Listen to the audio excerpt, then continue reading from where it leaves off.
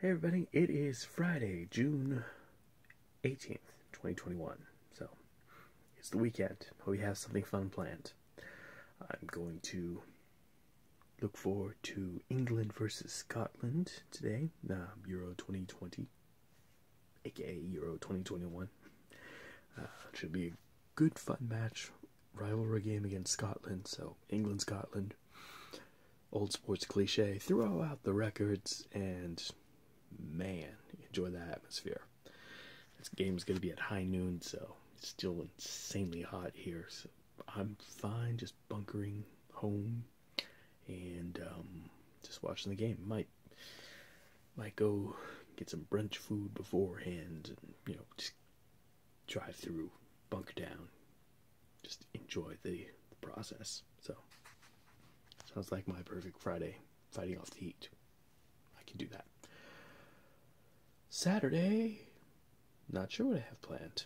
Might go to a toy fair. Gotta crunch the numbers on the abacus. Uh, but yeah, could happen.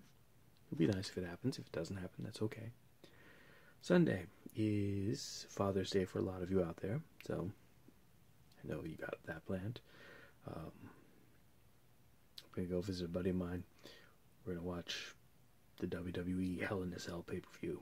So haven't done that since before pandemic, so be nice seeing him and his family. And yeah, but Friday. That's ahead. Let's focus on right now, which is Friday. And I'm wearing my blue England jersey, as you saw earlier. Uh, one, because it's lucky for me, and it's rough and tumble, and and um, it's blue. Because today, another one of those crazy fun, fun, fun, crazy thumb, crazy fun theme days. It is wear blue for men's health, and men folk, me definitely included. Sometimes we neglect our health and we put off doctor's appointments and little basic things we need to do. So we should not do that. I'm overdue for calling my doctor, setting up some appointments. So, yeah, I should do that today. That should, that should be my productive goal for Friday. And it could be your productive goal for Friday as well. So, let's do that. I think that about covers it. So, alright.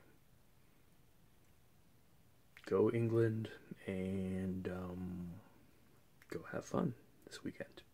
Talk to you tomorrow. Bye bye.